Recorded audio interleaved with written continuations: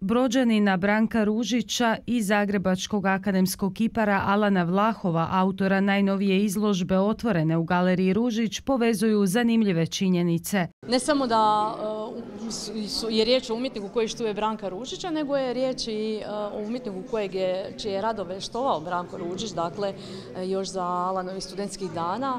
25 godina nakon Ružićeve smrti, Vlahov, akademski kipar i profesor u školi primijenjenih umjetnosti u Zagrebu, gostuje sa samostalnom izložbom pod nazivom Gore, čije radove premijerno prikazuje upravo u Slavonskom brodu.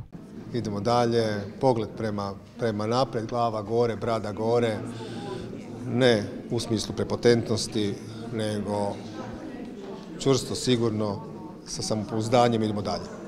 Uz nove radove dio postava čine i dva iz 1994. nastala za vrijeme završetka studija, a zanimljivo jedan od njih, Mali princ, Ružić je zatražio od Vlahova za postav galerije Ružić. Tada ja to nisam mogao napraviti jer je Zagrebačka banka već otkupila taj rad. Od tada je prošlo 27 godina i kada me pred godinu dana e, Romana pitala da li sam spreman, e, da li bih htio imati samostalnu, samostalnu izložbu u ovom prostoru